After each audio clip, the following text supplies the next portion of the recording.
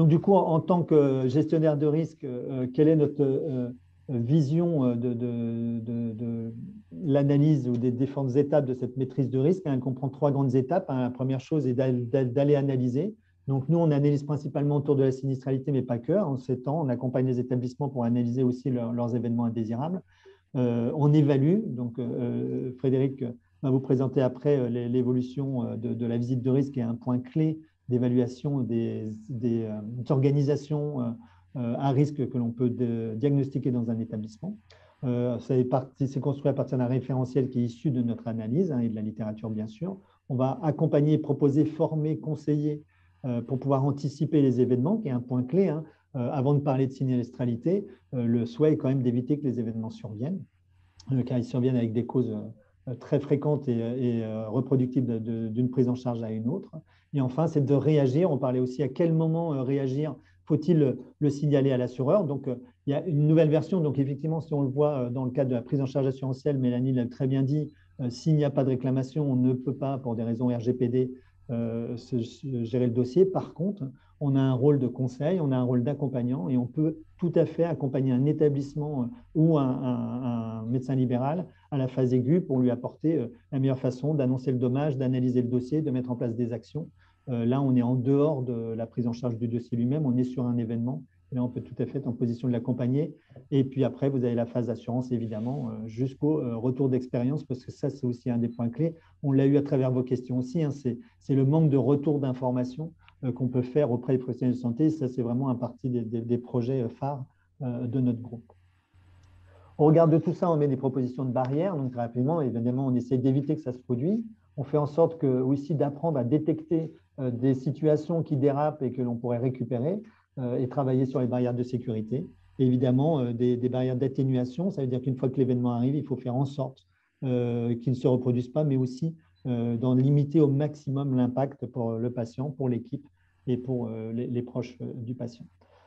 Une petite note à, garder en tête, c'est que globalement, aujourd'hui, les équipes, les structures, les professionnels de santé, hein, on met beaucoup d'énergie sur la prévention et euh, euh, peu, voire de façon très insuffisante, sur la détection et sur l'atténuation. Et on sait aujourd'hui que les établissements, les équipes les plus sûres, euh, mettent de l'énergie sur ces trois niveaux.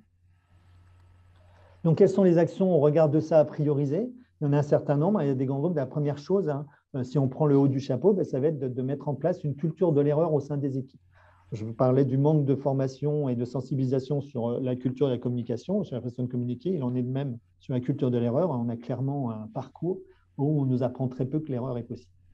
Il faut absolument y intégrer la notion de facteur humain, c'est-à-dire que l'erreur humaine est inévitable, et c'est vraiment les systèmes, les organisations, les systèmes de vérification qu'il faut mettre en place pour essayer de les limiter au maximum et faire appel, comme on le fait euh, aujourd'hui avec euh, des partenariats, avec des solutions technologiques, pour améliorer euh, l'ergonomie de travail, mais aussi rendre un système limitant au maximum les erreurs et favorisant la détection de ces erreurs quand elles surviennent quand même.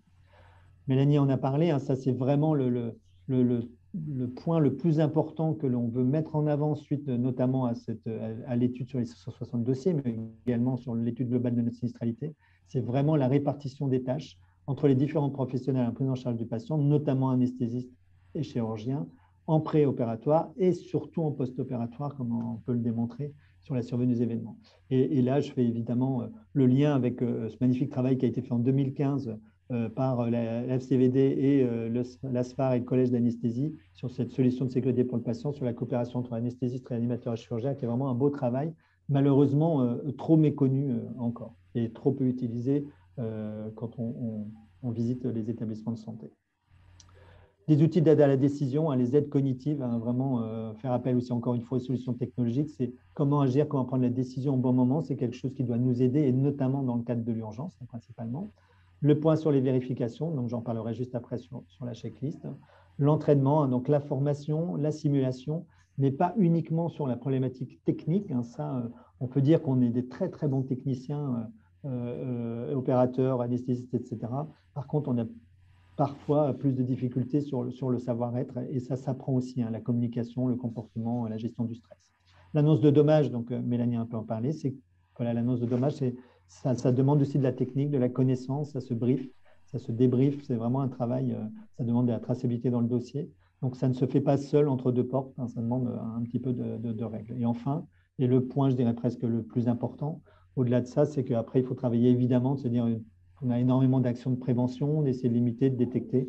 Il faut aussi analyser les causes, donc euh, tout le travail autour du signalement, de l'analyse méthodologique. Et ce qui manque encore une fois hein, le plus, c'est le retour d'expérience. Donc, je vais enchaîner rapidement sur, un petit point spécifique que j'aimerais partager avec vous, parce que là, c'est vraiment quelque chose qui me motive énormément autour de la checklist sécurité, parce que c'est un outil euh, absolument magnifique, mais qui malheureusement euh, est, très peu compris, très mal utilisé, et ça, on le constate, euh, enfin, moi, j'ai constaté au quotidien pendant les 20 ans de carrière, et, également dans l'ensemble des établissements, quand on a une vraie discussion ouverte avec les utilisateurs, on se rend compte à quel point elle est, sous-utilisée. Je vais revenir juste globalement sur l'étude hein, qui est très méconnue. Hein. J'avais fait un petit travail juste pour voir quel était le niveau euh, de connaissance euh, dans les différents établissements euh, rencontrés. en fait, la connaissance de cette étude qui a posé l'obligation française de checklist, elle est connue dans moins de 1% des cas. En fait, c'est une magnifique étude qui a été réalisée en 2007, publiée en 2008 dans le England Journal of, Medicine, fait qui a permis de démontrer que la mise en place de vérification et de partage de points clés avant d'endormir le patient, avant incision et avant sortie, diminuait de moitié, quasiment de moitié la mortalité et diminuait de façon significative, hein, de 11 à 7 la, la, morbidité. Et ça avait été réalisé donc dans huit pays, dans l'ensemble du monde entier, huit pays socio-économiques différents et montrait le, même résultat. Donc c'est un outil simple qui est facile à mettre en œuvre et l'efficacité a été manifestement démontrée euh, dans, cette étude-là. Et ce qui est intéressant, c'est euh, ben, où en sommes-nous euh, aujourd'hui. Donc, cet outil a été valorisé notamment par l'OMS, hein, qui en 2008 a, proposé que cette checklist soit faite dans le monde entier. La France se l'est emparée, pilotée par la Haute Autorité de Santé, qui a mis plusieurs versions de checklist, donc l'a rendu obligatoire dans le cadre de la certification au 1er janvier 2010, et puis euh, euh, a fait différentes versions, avec la dernière en 2018, intégrant euh, la prise de décision en cas de problème, la notion de go et de no-go. L'objectif à l'époque, hein, quand elle a été mise en place, c'était vraiment de promouvoir la culture sécurité au bloc et qu'elle reposait sur un partage des informations au sein de l'équipe, hein, réalisant des vérifications croisées. C'est un multisim, comme je vous le disais. La vient de créer un nouveau, comment dire, euh, critères euh, euh, dits impératifs hein, sur cette checklist dix ans après la, mise en route. Elle souligne bien l'importance de l'utilisation et en fait la, mauvaise utilisation qui repose notamment à la mise en place de sens et de retour d'expérience. La problématique que l'on a aujourd'hui, hein, que nous on constate notamment à travers la, sinistralité, hein, c'est que cette checklist, est, et à travers les évaluations qu'on fait évidemment, c'est qu'elle est appliquée dans, dans, beaucoup de salles, Néanmoins, euh, euh, le, partage hein, dans son intégrité et avec fiabilité des informations clés n'est pas vraiment euh, optimal. elle n'est pas intégrée à l'activité quotidienne, elle est souvent vécue comme quelque chose à faire en plus, un acte de traçabilité principalement. Et certaines étapes de la checklist sont peu ou pas réalisées en temps réel, et typiquement c'est le troisième temps, où dans notre analyse, elle est faite dans moins de 15% des cas. Les objectifs majeurs hein, ne sont pas atteints, c'est-à-dire partage des points clés, la récupération des dysfonctionnements, parce qu'encore une fois, ce que l'on a du mal à comprendre, c'est que cette checklist, elle est faite pour détecter des dysfonctionnements, les récupérer, mais après, il faut en analyser les causes.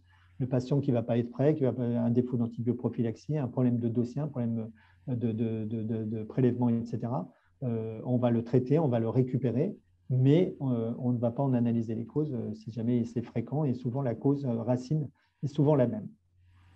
Et enfin, l'analyse méthodologique dans le cas posteriori des causes de dysfonctionnement, comme je viens de dire. Et en fait, ce qui est intéressant, c'est de se dire en fait, les résultats attendus sont globalement décevants et que cet impact n'a jamais été vraiment reproduit et on le retrouve dans la littérature avec beaucoup de difficultés à le à mettre en place. Et là, c'est pour faire un retour justement euh, sur cinq ans d'analyse d'événements qui auraient dû être totalement évités par la checklist. Euh, dans le premier temps, hein, par exemple, des anesthésies euh, générales, des patients qui sont endormis alors que les chirurgiens ne sont pas disponibles. Hein, dans certains cas, le chirurgien n'était même pas en France. Euh, la, anesthésie, enfin, plusieurs anesthésies générales sans qu'on ait les examens complémentaires indispensables. Donc, les patients ont été réveillés, évidemment.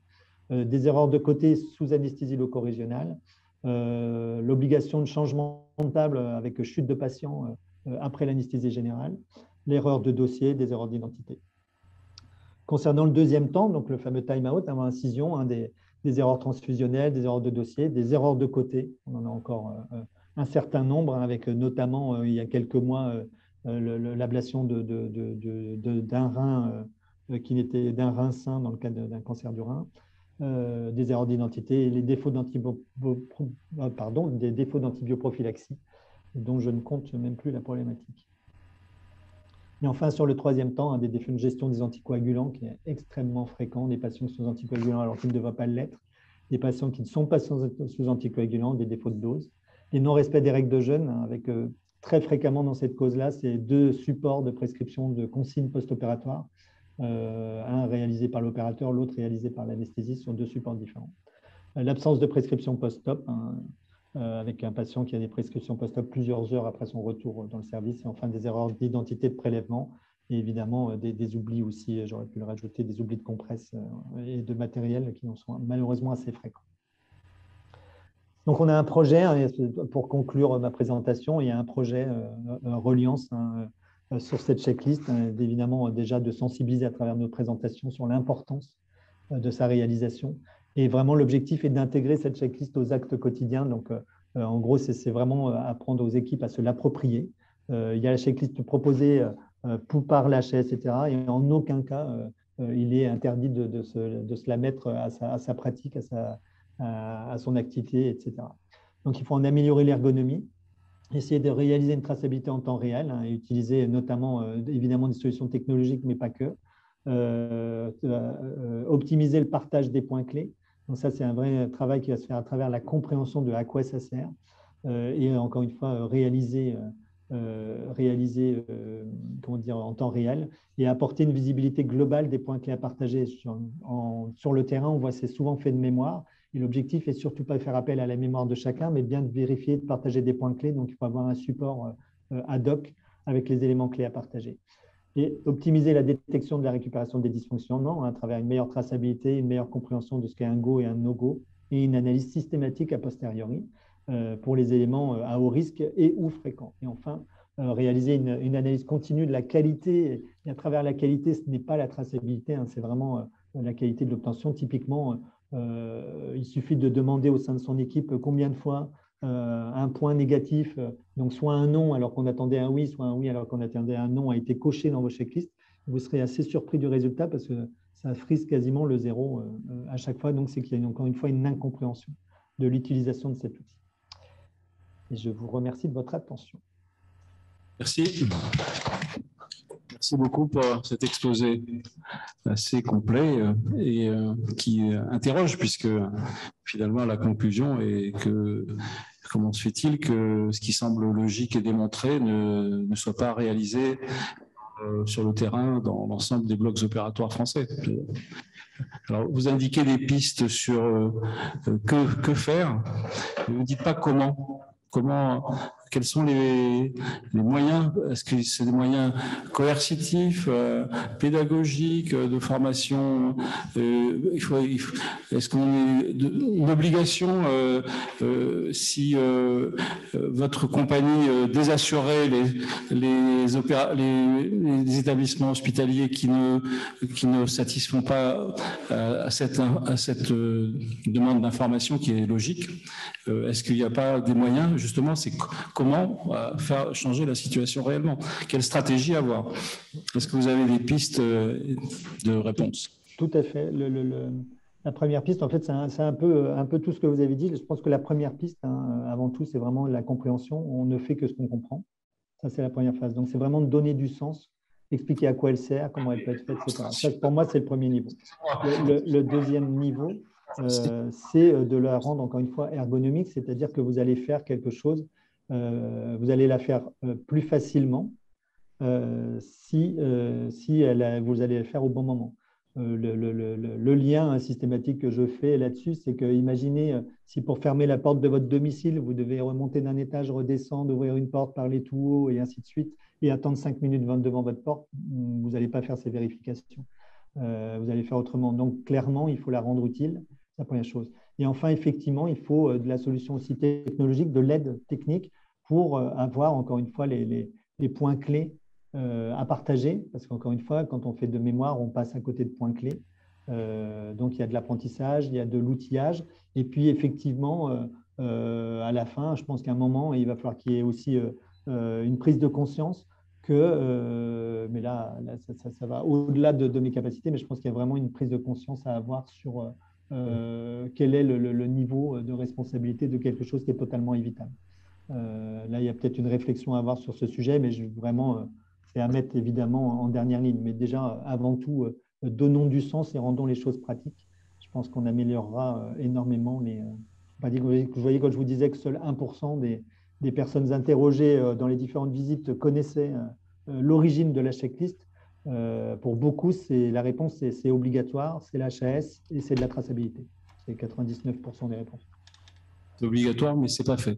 Donc, est-ce que vous avez des questions l'Assemblée, dans la salle? Euh, Pierre de Vallée, peut-être. Euh, il y a Pascal, Pascal, Richman qui avait levé la main. notre ami, notre vice-président, qui est en charge du rapport sur la prévention et la gestion des risques opératoires. Merci. Merci Albert Claude de me donner la parole. Vous m'entendez? Oui, très bien. Bon, euh, effectivement, je suis un auditeur particulièrement attentif en tant que coordonnateur de, ce rapport et je trouve que les présentations qui ont été faites sont euh, absolument excellentes et pour moi euh, très informatives. Et effectivement, il s'agit avant tout d'information.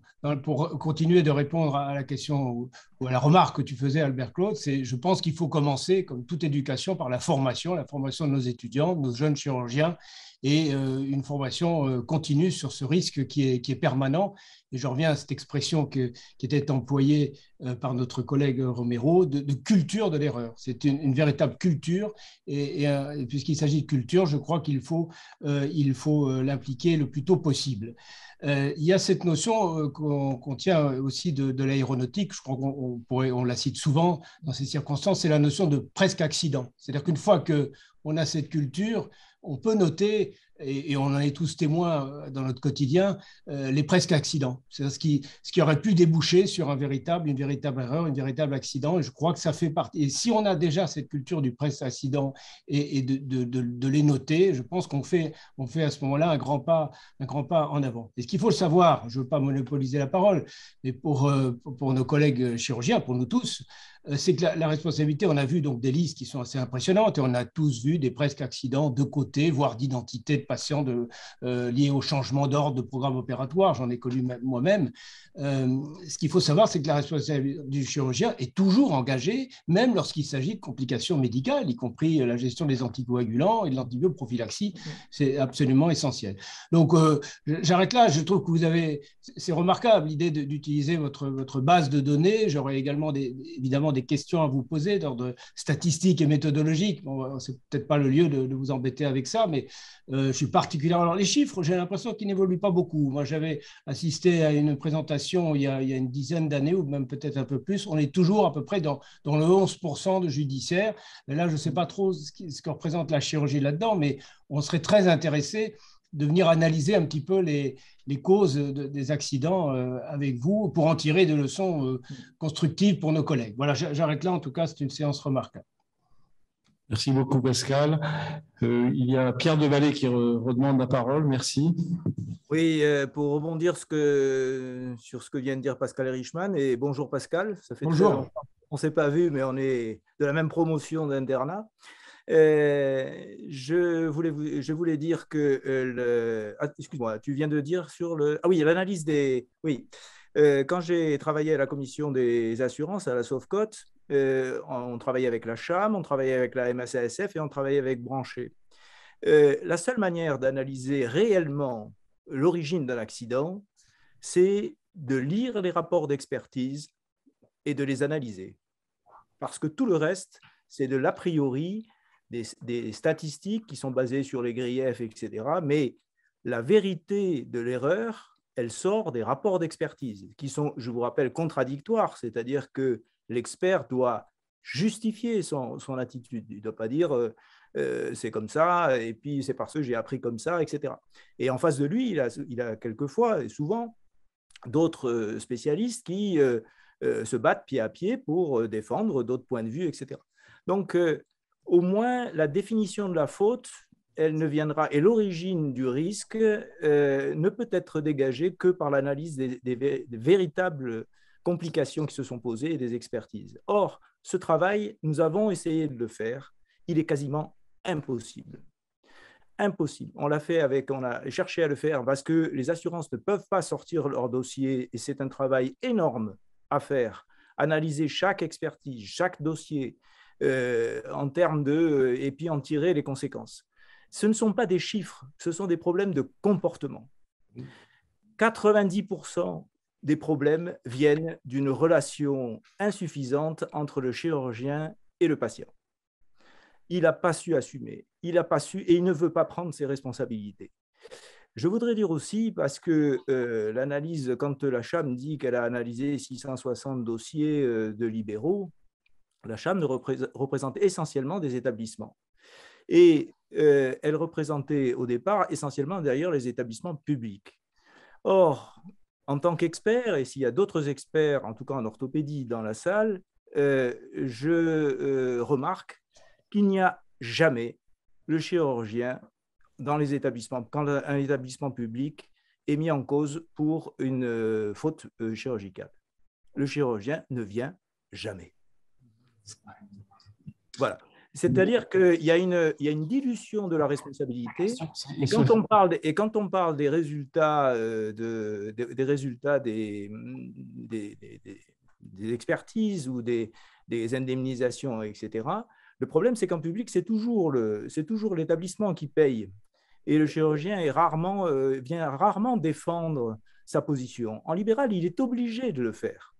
Et donc, et c'est sa responsabilité personnelle qui, qui est en cause. Donc, c'est tout à fait différent et il y a un biais d'étude qui est incontestable à ce niveau-là. Euh, quant euh, à la checklist que j'ai longuement appliquée, que j'ai euh, promue, que j'ai, etc., je me suis aperçu aussi que c'était en fait, et je pense que le docteur, pardon, qui c'est qui parlait, docteur Romero, ne me détrompera pas, euh, il y a eu un article, ce sont les Canadiens qui l'ont introduit et diffusé dans, la médecine, la chirurgie francophone. Euh, ils ont publié quelques années après un, article par les mêmes qu'il avait promu, disant que euh, en fait la checklist mal utilisée était plus dangereuse que ne pas en avoir. Pourquoi? Parce qu'il faut qu'elle soit que les gens se l'approprient. Or, ce qui se passe dans tous les blocs opératoires que je connais, et j'en connais pas mal, c'est que la checklist est remplie à la va-vite, on n'a pas le temps, on le fait, la checklist est remplie, on a fait le processus, tout va bien. Mais c'est rempli par les mêmes qui euh, ensuite n'assumeront pas la responsabilité de l'avoir rempli. Donc ce sont, ce sont des gestes, tout ceci, ce sont des processus issus de la gestion des risques dans une production industrielle et c'est totalement inapplicable au comportement humain. Les, relations, les relations, les risques les plus importants en chirurgie viennent, tout le monde est d'accord, c'est les relations entre anesthésistes et chirurgiens. Pierre, pardon, on va donner la parole, si tu, si tu veux bien faire circuler la parole. Euh, on a une intervention qui est peut-être pas complètement d'accord avec toi sur ce que tu as dit sur les chirurgiens euh, du public par rapport aux chirurgiens libéraux. Euh, oui, il se trouve que je suis médecin conseil pour, une pour différentes compagnies qui ne sont pas de la CHAM, euh, compagnie pour laquelle on est souvent amené à défendre des établissements. Tu peux en dire le nom, hein, ce n'est pas, pas secret. Non, mais AXA, GSM, MACSF, euh, et, et euh, il m'arrive souvent de défendre des établissements de santé publics. Et le rôle du médecin conseil, dans ce cas, de prendre contact avec le chirurgien et de voir si sa présence va être ou non utile à la défense de la cause. Et donc, des fois c'est utile, des fois c'est pas utile. Mais dès qu'on pense que c'est utile, le chirurgien, souvent même il ignore qu'il est mis en cause euh, d'ailleurs. Et donc, euh, il est Ah bon, je suis mis en cause, ah bon, je ne savais pas qu'il y avait une expertise, etc. Je voudrais revenir sur la checklist. Euh, que j'ai extrêmement mal utilisée parce que je n'en ai rarement vu l'utilité vraie telle qu'elle est faite, très technocratique, très HAS et pas du tout chirurgicale. je conteste pas l'importance du côté, l'importance de la pathologie, l'importance de l'identité du patient. Ça, je crois que tout le monde le fait. Mais je crois que la checklist, elle, a été mise au point il y a très longtemps quand euh, il y avait une espèce de barrière entre chirurgien et anesthésiste. Et je crois que cette barrière a complètement disparu, ou pratiquement complètement disparu, parce que les gens, euh, la notion d'équipe est beaucoup apparue dans la pratique chirurgicale et le chirurgien, je ne crois plus le tout-puissant qu'il était il y a 20 ou 30 ans. Et donc, je pense qu'elle est un tout petit peu dépassée de ce fait parce que les gens, tout le monde se parle maintenant. J'ai été dans de nombreux établissements, les gens se parlent et ça n'est, je pense que c'est pratiquement fini ce côté, le chirurgien euh, grand Manitou et, l'anesthésiste, euh, il prend du café. Quelle, serait ta checklist idéale? Parce que euh, c'est bien de critiquer, mais il faut proposer. là, notre collègue Romero dit, voilà, il faut une checklist. tu dis, c'est pas génial, donc il y a peut-être mieux à faire. Que... Cinq, cinq points. L'identité, c'est important. Qui opère, qui endort, le côté, la pathologie, l'antibioprophylaxie, je pense qu'avec cinq questions très rapides, c'est celles qu'ils ont utilisées en pratique. Hein, on voit bien ce que. On a vu quand il y a des défauts, c'est essentiellement ces items qui ressortent. Et, d'ailleurs, au sein de la CHAM, est-ce qu'il y a eu beaucoup de condamnations ou de mises en cause parce que la checklist n'avait pas été remplie? Elle a été, je pense, exceptionnelle, hein, à mon avis. Hein. Moi, je n'ai jamais vu aucune expertise où la checklist était mise en cause. Est-ce qu'il y a une incidence médico-légale quand la, checklist n'a pas été faite? Parce que s'il y, a la carotte et le bâton, euh, si la checklist n'est pas faite, parce, et donc il y a une faute, ça veut dire qu'elle est imputable à l'équipe, vous n'avez pas fait votre job, donc euh, tant pis pour votre... Euh, et donc l'assureur va en prendre un petit coup dans, ses, dans son porte-monnaie sera souvent faite a posteriori. Hein. donc là, il y a des, des, manips qui sont faites sur le dossier. Excusez-moi, il n'y a, pas de, a pas de faute en, ne remplissant pas la checklist. Ça, ça peut être une erreur, euh, etc. Ce qui est l'erreur, c'est de, en fait, si on ne retrouve pas sur la checklist, euh, par exemple, l'antibioprophylaxie. Ce n'est pas le fait même d'avoir. Euh, parce que ça, il faut. Et après, il y a l'imputabilité entre l'erreur commise et le dommage. On n'a pas trouvé encore. Et moi, je voudrais poser une question aux représentants donc de la CHAM. Ça fait quand même pratiquement maintenant 15 ans qu'on fait de la prévention des risques avec la checklist, etc., euh, etc. Et à ma connaissance, il n'y a pas de baisse de la sinistralité, mmh. en particulier dans les infections nosocomiales. Comment l'explique-t-on? Il y a un orthopédiste éminent qui veut prendre la parole et qui est spécialiste de orthorisque. Euh, Jacques Caton, il va peut-être vous répondre. Je le connais bien. Jacques, je crois que tu as levé la main. Merci de prendre la parole. Il ne entend pas. Il a pourtant levé la main. Il n'a pas ouvert son micro. Euh, il faudrait qu'il ouvre. Tu ouvres ton micro, Jacques. Alors, en, attendant, euh, j'ai mon secrétaire de séance qui voudrait poser une question clé qu'on pose à tous les. Est-ce que vous, m'entendez? Oui, ah ben voilà, là on t'entend tu as ouvert ton micro. Vous m'entendez? Oui. Vous m'entendez? Oui. Voilà j'ai ouvert mon micro.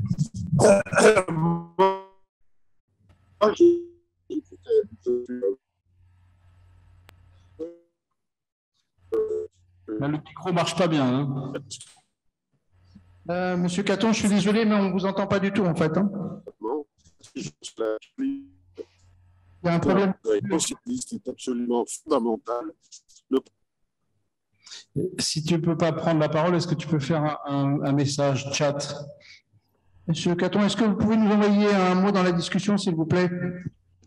Si, vous voulez, je, peux proposer des, quelques réponses. d'éviter 90% de... la problématique. En ce qui concerne le problème de l'infection, une infection au niveau d'une prothèse n'est pas que euh, imputable au défaut d'antibioprophylaxie. L'antibioprophylaxie, bien sûr, empêche d'avoir des infections, mais euh, bon, il y, a, à peu près 0,5% d'infection dans les prothèses articulaires aujourd'hui. Euh, bon, ça reste, euh, vous savez très bien que l'infection est multifactorielle. il est évident que aussi au niveau de la checklist, ce qui doit être posé, par exemple, c'est depuis combien de temps on a fait l'antibioprophylaxie. Puis il faut aussi savoir qu'une antibioprophylaxie pour une intervention qui dure doit être répétée au bout d'une heure trente, etc. Moi, je pense que la checklist est absolument fondamentale, qu'il faut la faire. Je vois trop de blocs où on ne la fait plus. Il n'y a plus aucune discussion dans les blocs opératoires. Et si on veut qu'il n'y ait pas de problème, il faut que les choses soient consignées. C'est-à-dire que la checklist doit être faite par le chirurgien et non pas par l'infirmière de, salle d'opération. C'est pas en cochant des croix sur une feuille ou sur un cahier qu'on règle le problème de la checklist. La checklist se fait à voix haute, elle doit être déclamée et elle doit s'enquérir de l'identité du malade, du côté de l'antibioprophylaxie, du fait qu'on a tous les instruments pour faire l'intervention et qu'on a tous les implants, etc. Donc il y a cinq, six questions à poser et il faut absolument remettre la checklist à l'honneur et qu'elle soit absolument pratiquée. Et ça doit être, à mon avis, quelque chose de très important au niveau de l'Académie nationale de chirurgie qui doit mettre en avant euh, la réintégration de la checklist vraie dans les blocs opératoires. Je pense que ta contribution sera intégrée au rapport de Pascal Richman. Bien sûr, je pense que peut, euh, Jacques peut nous en dire plus également sur le rôle des OA dans la prévention du risque par la circulation des informations au sein des, sociétés savantes. Je crois que c'est très important. Absolument. Et, euh, très longtemps, on a déclaré les événements de risque, ce qu'on appelle les, a appelé les presque accidents. Enfin, on peut trouver euh, des tas de, de noms à ça. Je pense qu'on a fait des progrès considérables. En ce qui concerne les erreurs de côté, les erreurs de côté en dehors euh, sont souvent imputables souvent à, des anesthésies de temps en temps qui se trouvent de côté en faisant l'anesthésie locale, ce qu'ils font la checklist ou pas dans la chirurgie du monde supérieur, c'est un autre problème. Moi, je ne vais pas juger du travail des anesthésistes. Ce que je sais, par exemple, c'est que les erreurs de côté ont fortement diminué avec la, le, la ça, c'est absolument fondamental. Les erreurs d'identité, il n'y en a plus normalement. Donc, il y a beaucoup de choses qui ont été corrigées avec la checklist aujourd'hui. c'est vrai que le problème de l'infection post-opératoire, ça reste un problème, et ça le restera toujours, même si la checklist est bien faite, parce que les causes en sont multiples. Il n'y a pas que le problème de l'antibioprophylaxie qui règle, qui règle cette, cette problématique. Et je crois que les enquêtes des, des, des OA de gestion des risques ont été fondamentales et ont permis quand même d'avancer, de faire beaucoup de progrès. Et je pense qu'aujourd'hui, la sinistralité, je suis désolé, elle a baissé. Je ne suis pas d'accord avec Pierre Devalet quand il dit que rien n'a changé. Ça n'est pas vrai. Ça a baissé. Il y a beaucoup moins de, déclarations qu'autrefois. D'ailleurs, euh, actuellement, il y a des assureurs qui baissent les tarifs d'assurance pour les praticiens qui n'ont pas eu de déclaration depuis un an, deux ans, trois ans, quatre ans, cinq ans. C'est très variable euh, suivant les assureurs. Je ne vais pas rentrer non plus là-dedans. Voilà. Donc, euh, checklist, c'est fondamental.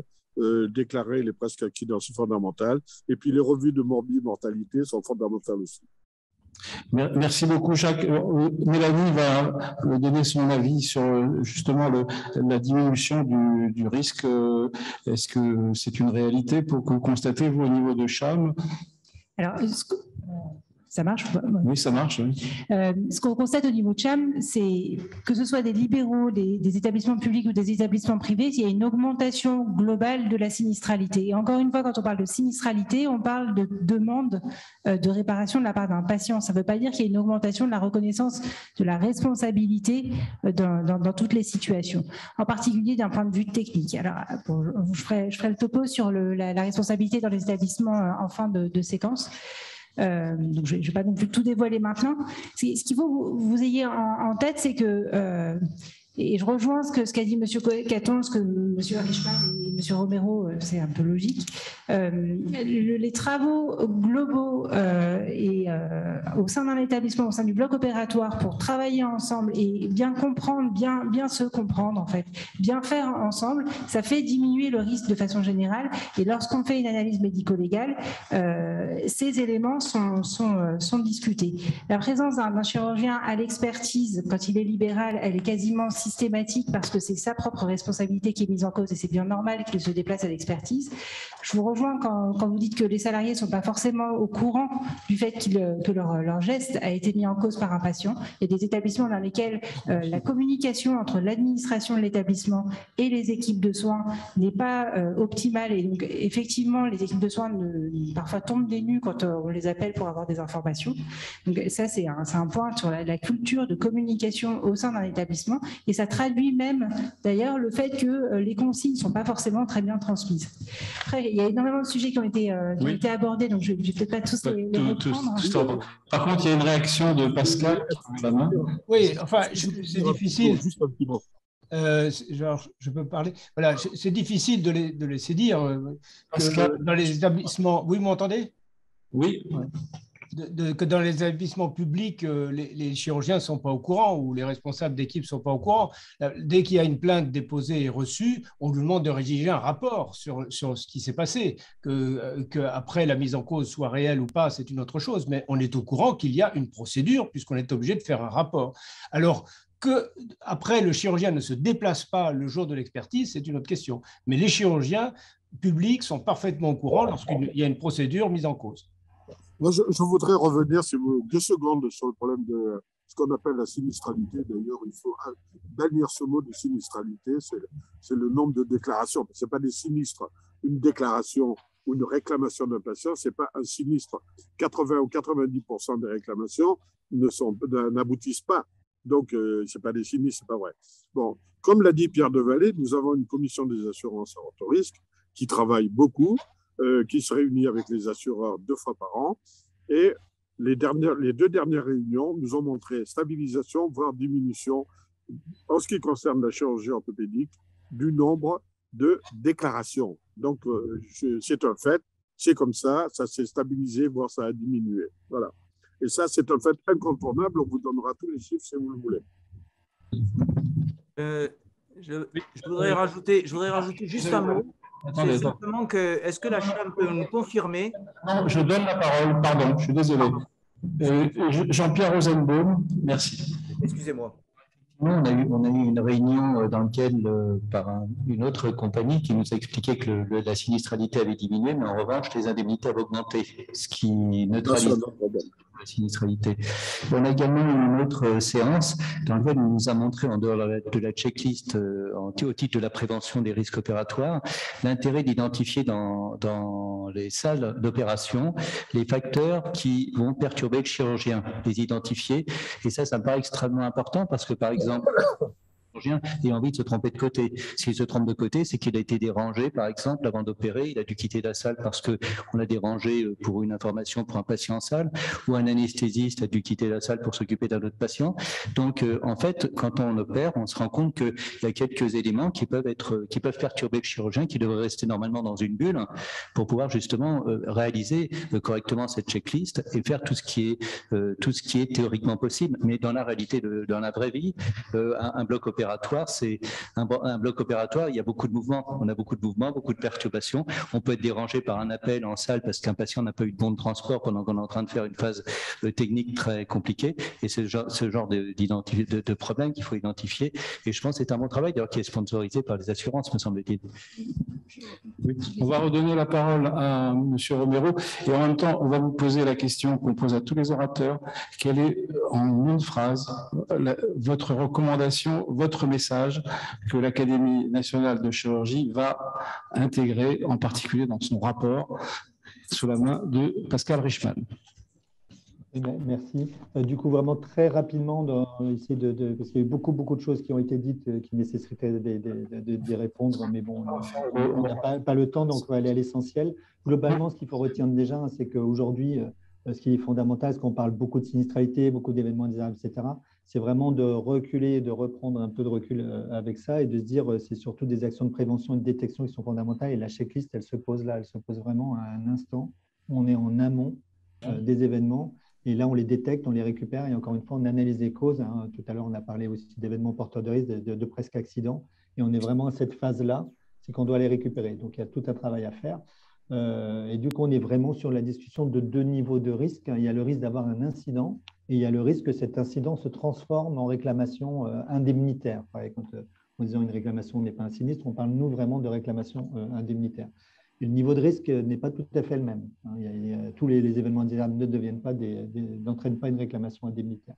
Et enfin, pour résumer, s'il y a un message clé vraiment à faire passer, c'est vraiment de comprendre cette notion de, prévention du risque et qui repose, on l'a dit, hein, notamment sur le travail en équipe, et sur la définition, et je pense qu'au bloc opératoire, il y a encore du travail euh, en fonction des établissements, en fonction des spécialités, etc., sur la définition du rôle du qui fait quoi.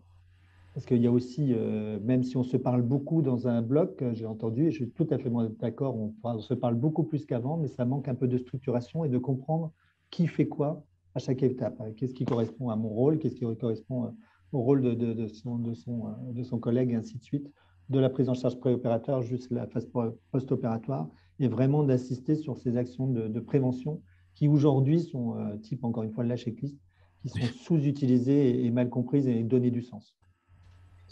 Bah, à votre avis, euh, je vais vous poser une question en, ordre différent, puisque pour avoir une réponse euh, unique, euh, qui est responsable de la checklist? Qui fait, signe la checklist à la fin d'une intervention? C'est le chirurgien? Oui. Euh, vous dites définir les rôles de chacun. Qui est en charge de quoi? On, décide dans une équipe, c'est lui qui, qui, est le. Voilà, c'est peut-être, vous dites le chirurgien. Il me semble qu'on en parle des chirurgiens. À mon avis, ce serait le chirurgien qui devrait probablement signer. Non seulement il, y a, il, y a, dans votre question, il y a deux, deux, deux types de réponses, hein, tout simplement. Il y, a, qui pourrait être en responsabilité en traçabilité je trouve que, voyez, si vous reprenez l'expression, hein, il, y a eu beaucoup de, on a parlé tout à l'heure un petit peu aussi euh, de la comparaison avec l'aviation. Une checklist dans l'aviation ne se signe pas, puisque de toute façon, c'est ceux qui sont dans le cockpit qui ont à la faire. Donc, globalement, il suffit juste de savoir qui était présent dans la salle et tout le monde est responsable. On est dans une notion d'équipe. On ne peut pas reporter cette, cette, responsabilité sur une seule personne, tout simplement parce qu'elle se fait euh, à trois étapes clés. Euh, typiquement, l'induction, euh, la phase avant induction, la première étape de la checklist, elle ne peut pas être sur la responsabilité d'un chirurgien, il n'est pas là. Euh, et à juste titre, puisqu'elle se fait avant d'endormir le patient, et heureusement, le chirurgien n'est pas systématiquement là et n'a pas de rôle fondamental dans cette étape-là. et par exemple, sur le troisième temps de la checklist, qui on demande de le faire en une seule fois, alors qu'il va y avoir un temps spécifique qui va être autour du compte des compresses, il va y avoir un temps spécifique euh, plus, euh, euh, enfin, et des prélèvements qui sont déjà partis 9 fois sur 10 au moment de la, fermeture. Il va y avoir un temps spécifique sur les prescriptions post-op, sur les consignes, sur l'intitulé de l'intervention, etc.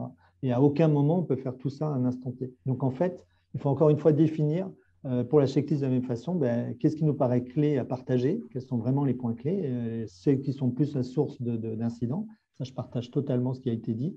Et puis de se dire, voilà, qui est responsable euh, et ça ne peut pas reposer que sur une personne, de s'assurer qu'elle est bien faite, etc. Parce que si vous reposez ça sur une personne, automatiquement, tout le monde va se décharger sur cette personne en disant la checklist est de sa responsabilité, ce n'est plus la mienne.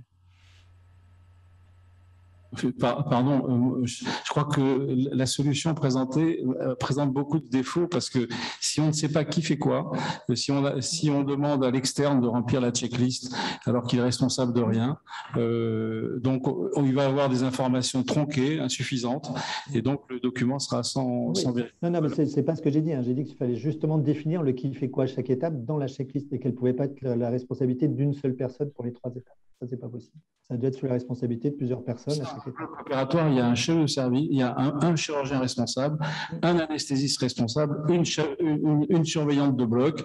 Et, voilà. Alors, c'est peut-être collectif, c'est trois, au moins trois personnes, la penseuse.